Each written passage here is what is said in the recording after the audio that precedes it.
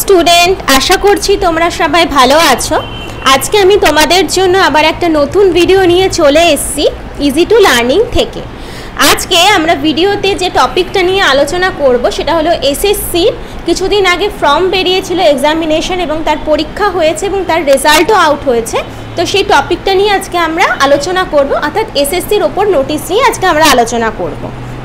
তাহলে দেখো নোটিশে কি বলেছে?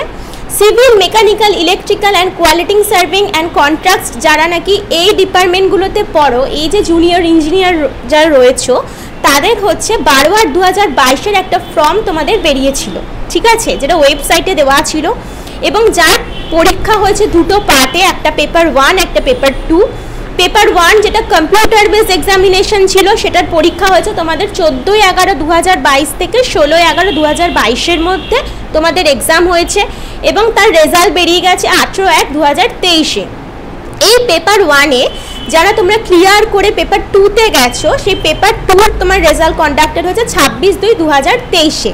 তার ফাইনাল রেজাল্ট বেরোনোর আগে মানে পেপার টু এর ফাইনাল রেজাল্ট বেরোনোর আগে তোমাদের কি বলেছে, তোমাদের অফিস বলেছে ডিপার্টমেন্টদের কিছু ডকুমেন্টস রয়েছে যেটা তোমাদেরকে সাবমিট করতে হবে। তোমাদের পোস্ট অনুযায়ী মানে ধরো যারা civil mechanical electrical quantity surveying বা কন্ট্রাক্টসের জন্য কিছু ডিপার্টমেন্টের কিছু পোস্ট রয়েছে, সেই পোস্টগুলোকে তোমাদেরকে বলেছে, ওই তোমাদের যে লিঙ্ক রয়েছে, সেই লিঙ্কে গিয়ে ক্লিক করতে হবে এবং তোমাদের যে লগ ইন আইডি রয়েছে, সেই আইডিকে তোমরা আইডি দিয়ে তোমরা সেই তোমাদের যে ডকুমেন্টস রয়েছে, সেই পোস্ট অনুযায়ী ডকুমেন্টসগুলোকে তোমাদের সাবমিট করতে হবে। সাবমিট করানোর পর তোমাদের ফাইনাল রেজাল্টস কিন্তু আউট হবে, যেটা তোমাদের সাব রিজিওনাল অফিস বা ইস্ট রিজিওনাল অফিস হেডকোয়ার্টার্স তোমাদের এই নির্দেশটা দিয়েছে। তোমাদের এগুলোকে সাবমিশন করতে হবে। যদি কেউ ওই কয়েকদিনের মধ্যে যদি সাবমিশন করতে না পারো তাহলে কিন্তু তোমরা আর কেউ সাবমিট করতে পারবে না। তোমাদের টাইম ডেট লিমিটেড দেওয়া হবে, সেই টাইম ডেট লিমিটেশনের মধ্যেই তোমাদের সাবমিট করতে হবে। আর তোমরা যদি লিমিটেডের মধ্যে তুমি সাবমিট করতে না পারো, তাহলে কিন্তু পরে যতই চেষ্টা করো, তোমরা কিন্তু কেউ সাবমিট করতে পারবে না।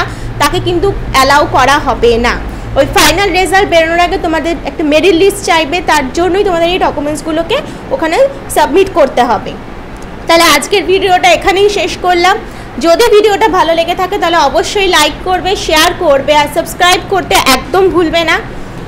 তো চলো, আজকের মতো এখানেই টাটা, দেখা হবে পরে আবার নতুন কোনো ভিডিওতে